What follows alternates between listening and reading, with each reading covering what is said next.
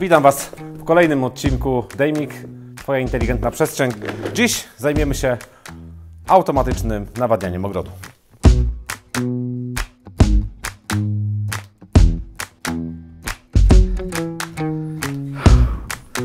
O, to jest naprawdę ciężka robota, prawda?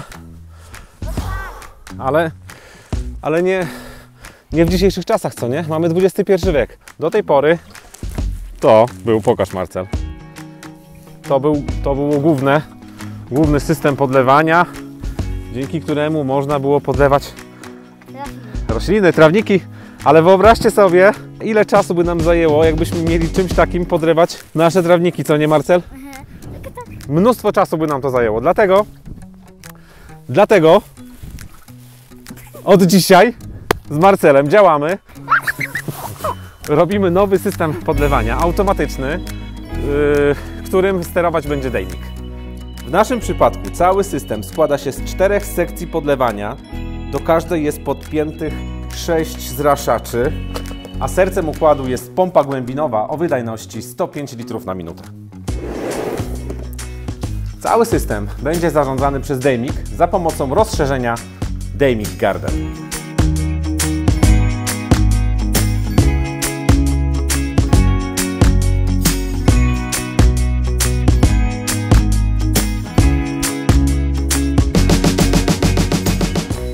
Dejmik Garden montujemy najlepiej w y, osobnej rozdzielni na dworzu.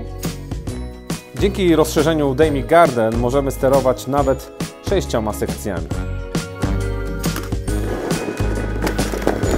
No to czas brać się za robotę.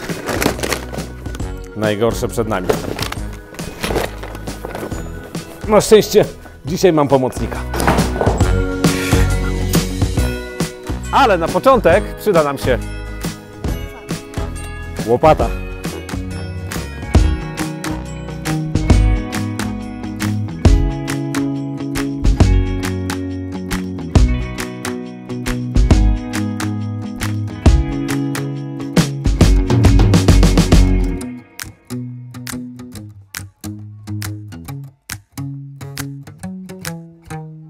Przyznaj, że wkopanie rurki to nie jest łatwy kawałek chleba, ale działamy dalej. Działamy, Marcel, dalej. Teraz jest najmilsza rzecz, którą musimy zrobić. Mianowicie musimy podłączyć nasze magiczne, nasze magiczne urządzenie. To co? Bierzemy się za robotę? Dobra. No to chodź.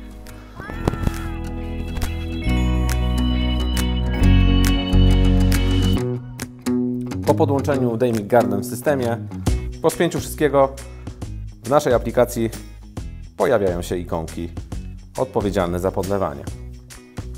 Możemy ręcznie sterować podlewaniem, załączając i wyłączając poszczególne sekcje. lub możemy je zautomatyzować. W tym celu wchodzimy w ustawienia i tworzymy program. Klikamy Stwórz nowy program. Możemy ustawić w jakie dni ma się podlewać. Wybierzmy wszystkie. Ustawiamy sekcję numer 1 i czas podlewania na powiedzmy 15 minut.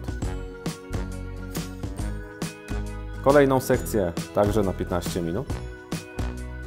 Wiadomo, że najlepiej podlewać jest w godzinach porannych i wieczornych, więc niech to będzie 6 rano, pierwszy program i kolejny program o godzinie 20.